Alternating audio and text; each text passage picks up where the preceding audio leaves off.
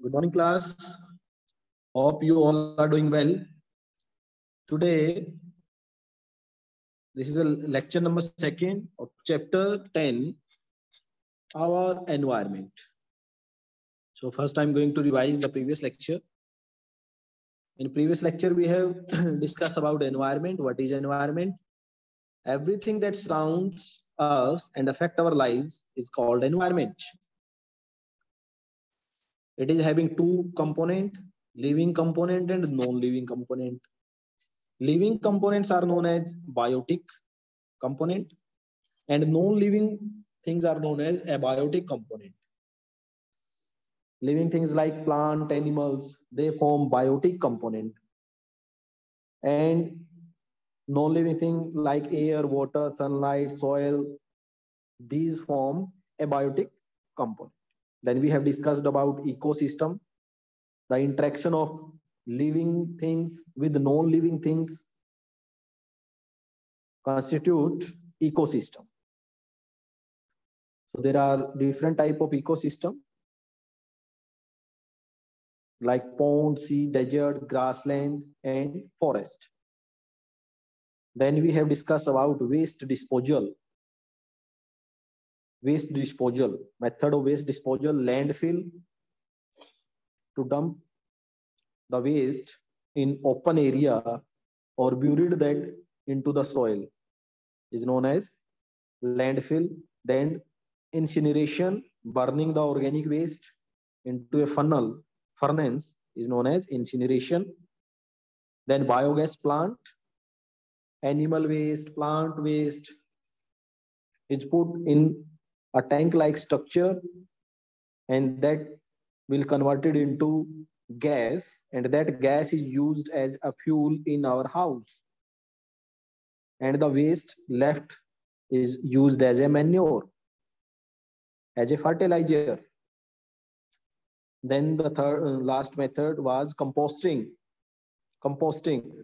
It is a natural process of decomposing organic waste which are produced from plant and animal by microorganism this compost can be used as a fertilizer, organic fertilizer, which is safe for our environment. So student, let's start today's topic. How can we reduce waste? So open page number 17, 117. How can we reduce waste? We can reduce waste by the following, by following the 3R strategy. What are the three R strategy? The three R's reduce, reuse, recycle. Reduce, reuse, recycle. So by adopting these three R principle, we can manage the waste problem. Reduce, reuse, recycle are the simple steps that can be followed to reduce waste. Reduce means generating less waste by decreasing use of things such as plastic bags, bottles, which pollute the environment. So things like plastic and plastic bottle and glass and the metals which pollute the environment, we should reduce, we should use less of that kind of material. For example, use carry bag made of jute instead of polythene bag. Instead of polythene bag, we use a bag made up of jute. Reuse is a method where we use product for the same or different purpose until they are completely worn out. For example, we can give our old clothes, book, furniture, and the other thing to charity instead of throwing them away. So that these old books, old clothes, old furniture is used by someone else. They can use that instead of making new product. So This is the method of reuse. Reuse. Reuse something we throw away on a daily basis. For example, an old bucket can be used as a plant pot and an old tire can be used as swing seat used as a swing seat recycle. The third 3r principle is recycle. Is the another way to reduce waste. It is also save money and energy required to manufacture new product. It is the conversion of used and discarded material into new and useful product. For example, waste paper can be recycled and new paper can be produced from it. This save millions of tree from being cut down to make fresh paper. So student, you should know very well that paper are made from trees. We have to first cut the trees, then we make paper from that tree. So we should not burn the paper. We should use that paper again and again. This is the way of recycle the paper. For example, waste paper can be recycled and new paper can be produced from it. This save millions of tree.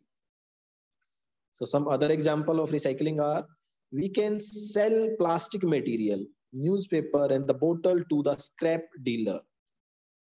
So we should not burn that plastic or paper. Instead of burning, we should sell that plastic material or the newspaper or the bottle, empty bottle to the scrap dealer, kabadi wala, to the kabadi wala. Some factories buy the scrap and recycle it. So the empty aluminium can are also recycled by cleaning, settling, melting, and them into new cans to for reuse. So aluminium can can be recycled again and again. Do you know recycling of a three feet high stack of newspaper save 32 feet trees? So we should follow the 3R principle. We should reduce the, we should generate less waste we should use reuse the things again and again and the third step is recycle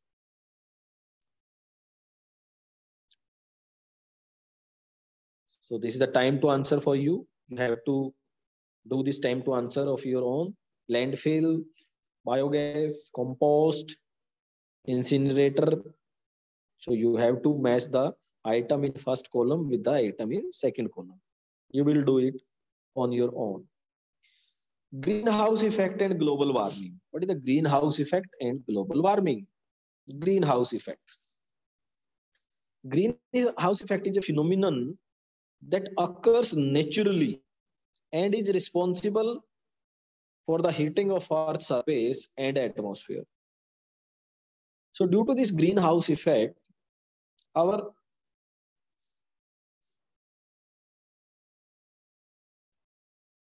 Earth temperature increases. Earth temperature, the heat of Earth is maintained with the help of this greenhouse effect. There are so many greenhouse gases which trap the heat coming from the sun.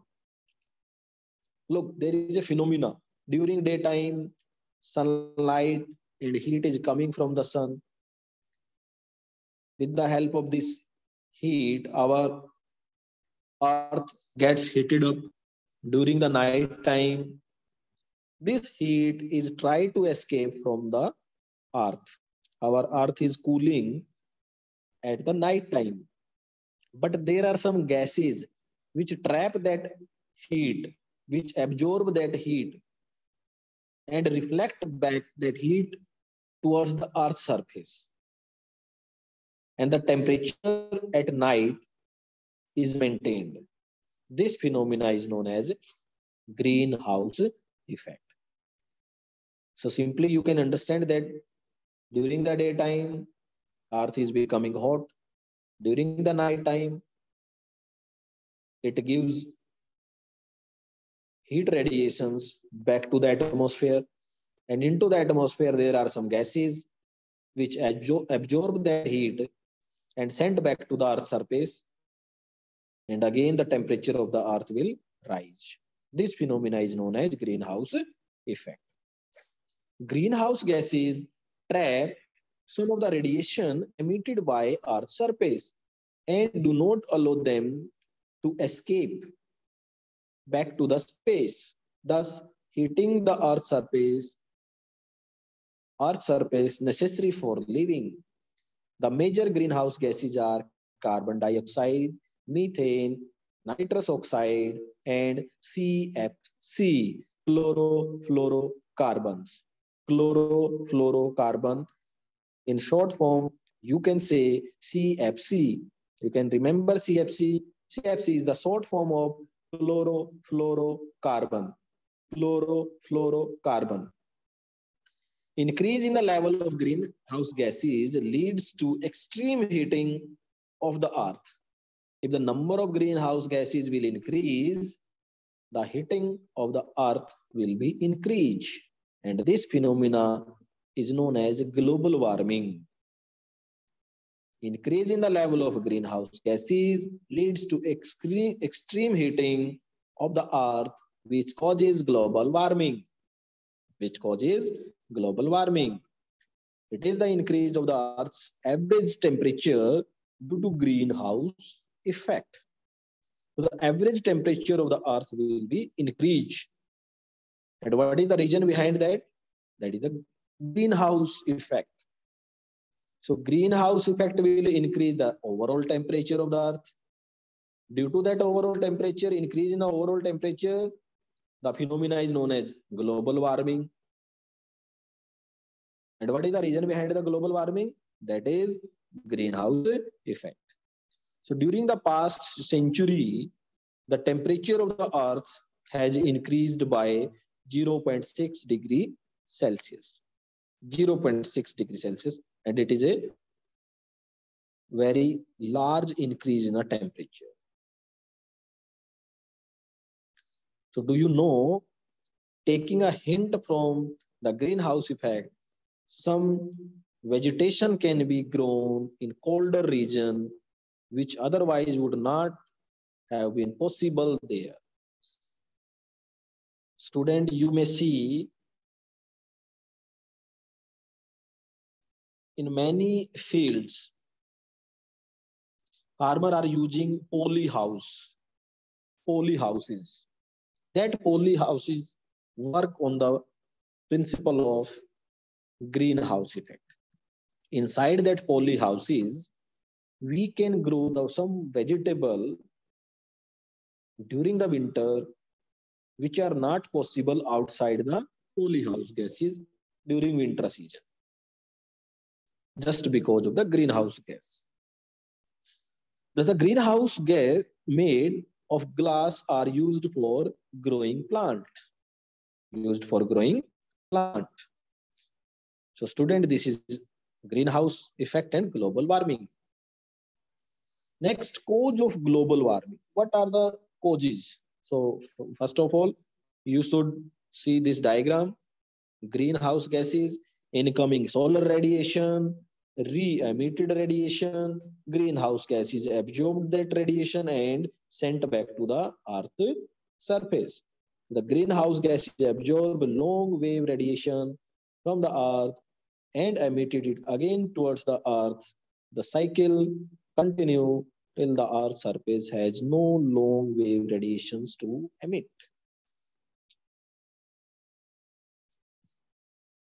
Globe, causes of global warming. Causes of global warming. Some of the common activity that leads to global warming are electricity is required for many facility like lighting, running TV, stereo, hair dryer, driving a car, heating a metal in the microwave, meal in the microwave. Most of the electricity needed for these activity is made by burning fuel. In thermal power station, we burn coal. Coal is burned inside the thermal power station. And by burning the coal, lots of carbon dioxide is released.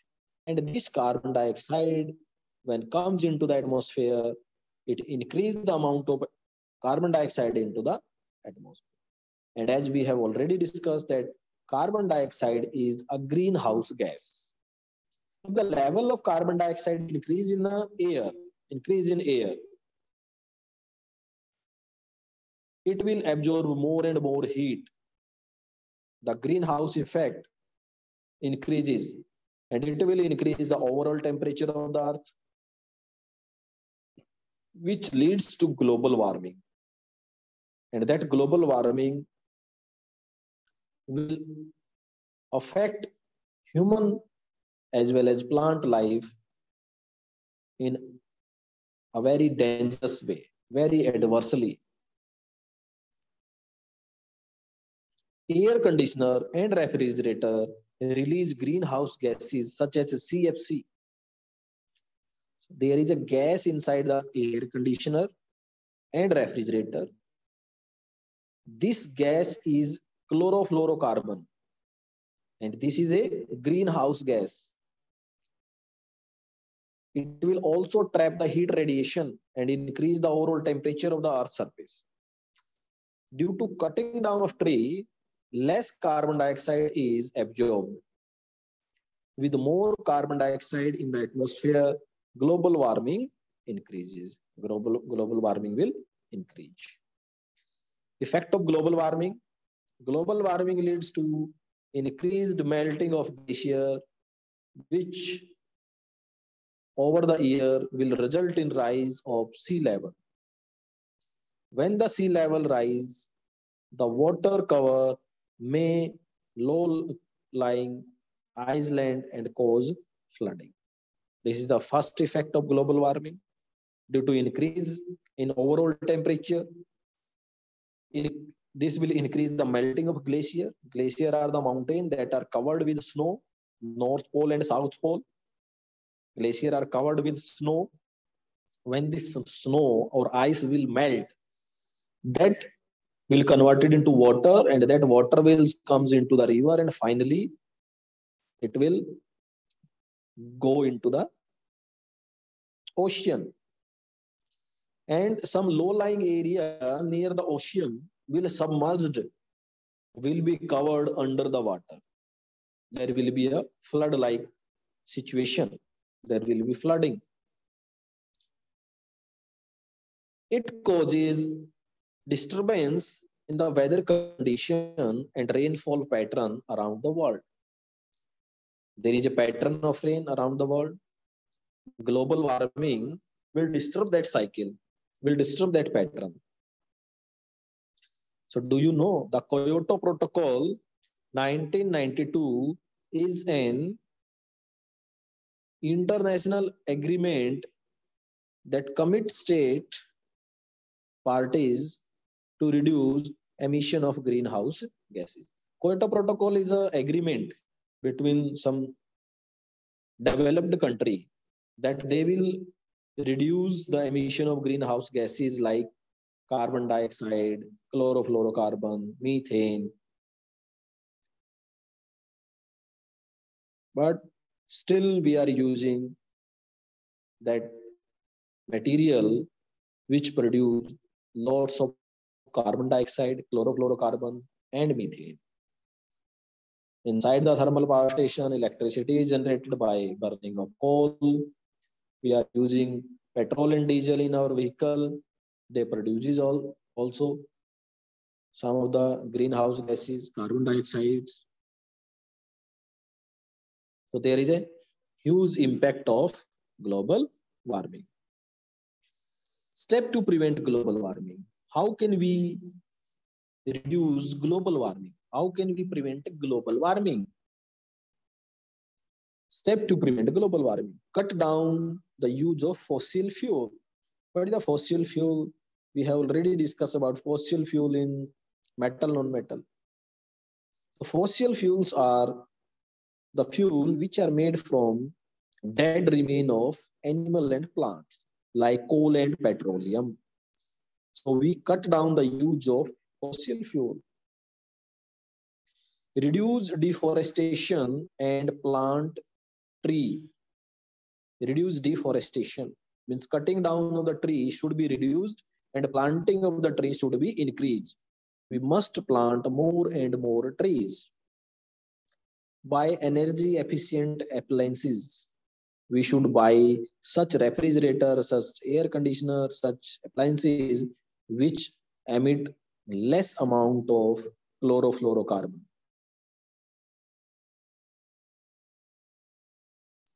Again, there is a time to answer. You have to solve this. Greenhouse effect is a naturally occurring phenomena. It is true or false. Oxygen is a greenhouse gas. True or false. Rise in a sea level leads to flooding. Our activity have caused an increase in the level of greenhouse gases. So you have to mark true or false. So student, I'm going to revise this topic again. What we have learned till now. We have learned about waste disposal, landfill, incineration, incineration, biogas plant, composting. Then how can we reduce waste? we can reduce the waste by the strategy of 3R principle. Reduce, reuse, recycle. Reduce means generating less waste. By decreasing use of things such as plastic, reuse is a method where we use product for the same or different purpose until they are completely worn out. Reuse, use again and again. Recycle is another way to reduce waste. Recycle is another way to reduce waste. So it is conversion of a used or discarded material into new and useful product. That is recycle. Then greenhouse effect and global warming. It is very important topic, greenhouse gas and global warming. Greenhouse effect is a phenomena that occur naturally. That occur naturally and responsible for heating Earth's surface and atmosphere. This line is also part of true or false. Is a natural phenomena. Yes, it is true. It is a natural phenomena and responsible for heating of the Earth's surface and atmosphere. Greenhouse gases trap some of the radiation that are emitted by the Earth's surface and do not allow them to escape into the space. Thus, the heating of the Earth's surface necessary for living being. But increase in the level of greenhouse gases leads to extreme heating of Earth. Extreme heating of Earth. This is known as global warming. And global warming gives so many adverse effects on the earth. So cause of global warming, what is the cause of global warming? Greenhouse effect is the main source of global warming. Because electricity is generating inside the thermal power station. Thermal power station is run on burning fuel like coal. So by burning the coal, there is a release of carbon dioxide, which is a greenhouse effect which increase the overall temperature of the earth and leads to global warming. Air condition and refrigerator release greenhouse gases such as CFC, chlorofluorocarbon. They also increase global warming. Due to cutting down of tree, less carbon dioxide is absorbed and more carbon dioxide is left in the atmosphere. This also leads to global warming. What are the effect of global warming? Global warming leads to increased melting of glacier. So when glacier will melt, there will be a rise in a sea level and the low-lying area island causes flooding. It causes disturbance in the weather condition and rainfall pattern around the world. This is also the effect of global warming. So how can we prevent global warming? What are the steps to prevent global warming? Cut down the use of fossil fuel.